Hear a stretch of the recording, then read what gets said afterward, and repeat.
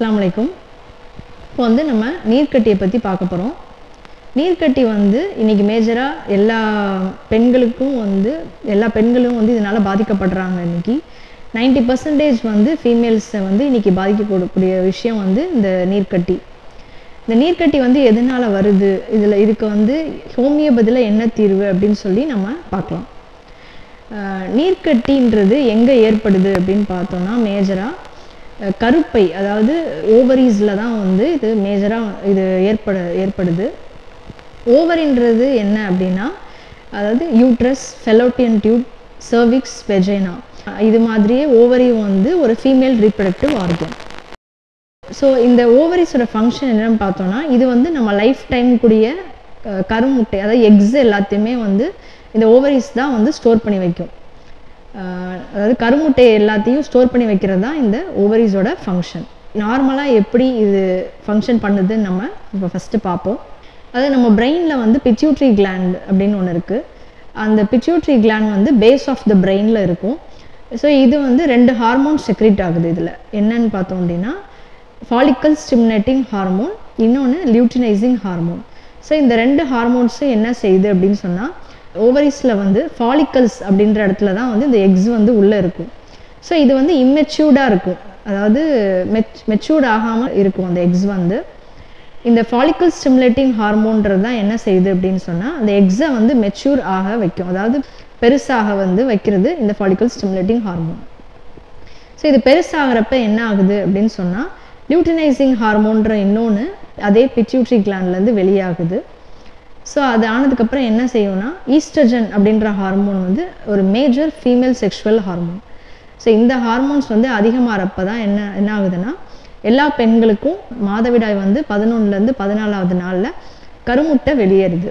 So இது வெளியே ஆகாத பட்சத்தில் தான் வந்து குழந்தையின்மை இந்த மாதிரி விஷயம் இந்த மாதிரி இதெல்லாம் வந்து பிசிஓடியில் ஏற்படக்கூடிய ஒரு ரீசன்ஸ் ஸோ இது நார்மலாக வந்து ஓவரிஸ் ஃபங்க்ஷன் ஓவரியோட ஒரு ஃபங்க்ஷன் இது ஆகாத பட்சத்தில் என்ன ஆகுது அப்படின்னு நம்ம இப்போ பார்ப்போம்.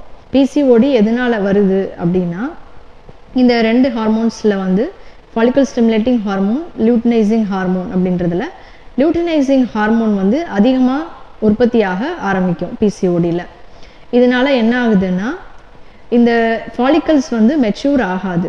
ஸோ ஃபாலிக்கல்ஸ் வந்து மெச்சூர்ட் ஆகலை அப்படின்னு சொன்னால் கருமுட்டை வந்து வெளியேறாது. வெளியேறாமல் அது நீர் கோர்த்து நீர்க்கட்டியாக ஃபார்ம் ஆகிடுது ஸோ இதை தான் வந்து நீர்க்கட்டி அப்படின்னு சொல்லி சொல்கிறோம் ஸோ இந்த கருமுட்டை சரியாக வெளியேறாமல் இது என்ன ஆகுது அப்படின்னா நீர் கோர்த்துக்கிட்டு உள்ளே இருக்கிறதுனால மாதவிடாய் வந்து மாதம் மாதம் கரெக்டாக ஆகாது. இல்லைன்னா கம்மியாக ஆகும்.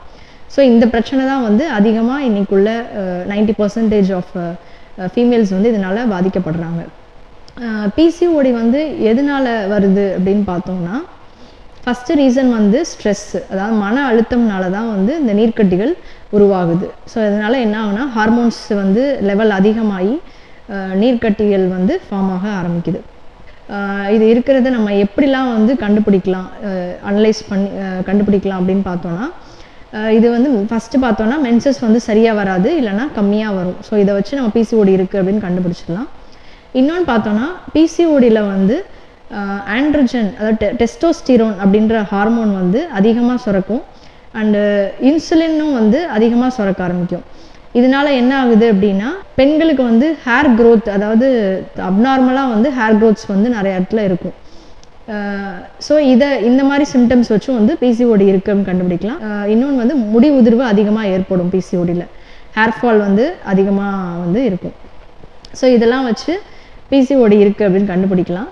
அண்ட் இதை வந்து நம்ம அல்ட்ராசவுண்ட் பண்ணி பார்த்தோம் அப்படின்னு சொன்னால் நீர்க்கட்டி இருக்குது லெஃப்ட் நமக்கு ரெண்டு ஓவரிஸ் இருக்குது left and right ovaries so இதில் வந்து எந்த இடத்துல நீர்க்கட்டி இருக்குது அப்படின்னு சொல்லி நம்ம ஸ்கேன் ரிப்போர்ட்டில் பார்த்து ஸோ நம்ம நீர்க்கட்டி இருக்கா இல்லைன்னு வந்து நம்ம தெரிஞ்சுக்கலாம்.